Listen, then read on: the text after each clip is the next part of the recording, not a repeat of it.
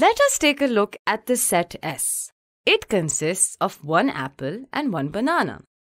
What are the possible subsets of this set? For starters, we have a set that does not have any fruits, the null set. Next, we have sets that consist of one fruit only. Then, we have the set that consists of two fruits, which is set S itself. Now, let us group these subsets into one big set.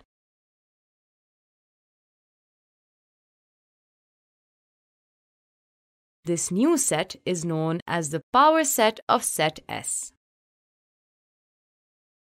The power set of a set S is the set consisting of all possible subsets of S. The power set of S is denoted as P of S. Observe that the elements of the power set are sets themselves. Let us take a look at another example. The set T consists of the letters A, B, and C. What are the subsets of this set? First, we have the null set, which is empty. Next, we have the sets that consist of one letter only, followed by sets with two letters only.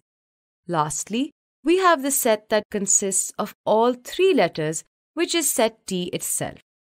These subsets then make up all the elements of the power set of set T.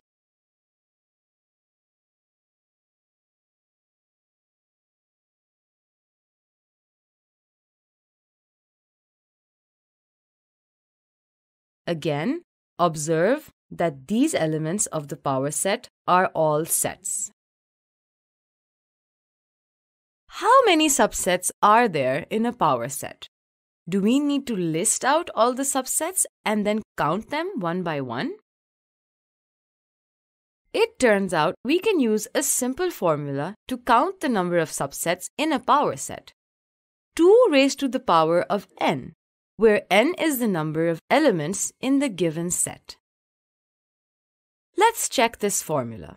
Again, we turn to set S, where we have already found the power set. There are two elements in set S and four elements in the power set of S. Since 2 to the power of 2 is 4, therefore the formula is correct. Let's check this formula for set T. There are three elements in set T and eight elements in the power set of T. Since 2 to the power 3 is 8, therefore, the formula is once again correct. Let's do an exercise. Find the power set of set U and use the formula to find the number of subsets in the power set.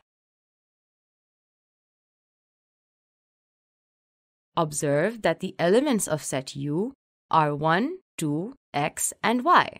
Therefore, the subsets of U are the null set, 4 sets with one element in them, 6 sets with two elements in them, 4 sets with three elements in them, and 1 set with 4 elements in it. These subsets then make up all of the elements of the power set of set U.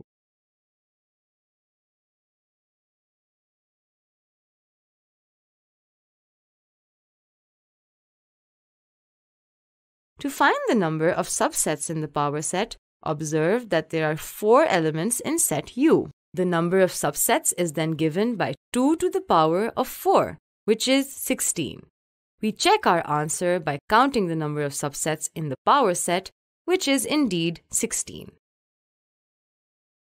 Let's summarize. In this video, we learned to find the power set of a finite set S. We also learned to use the formula 2 to the power of n to find the number of subsets in the power set, where n is the number of elements in S.